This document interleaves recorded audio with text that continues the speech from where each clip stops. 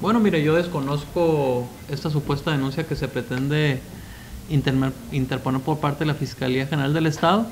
Nosotros estamos plenamente dispuestos a que haya investigaciones. Por el contrario, nosotros no tenemos ninguna situación de rechazo porque se hagan las investigaciones. Por el contrario, nosotros en todo momento colaboraremos con la autoridad.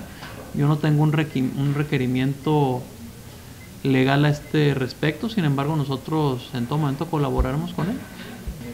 Con su servidor no se han puesto en contacto aún, sin embargo para nosotros es importante que se determinen estos hechos, ver quién introdujo las armas, cuándo, a qué horas, por dónde, en qué fecha, si fue en la fecha de la administración de Redes Ferris, si fue en la administración esta o si fue a partir de que se entregó la, la administración al gobierno del Estado. Entonces para nosotros es importantísimo que esto se determine.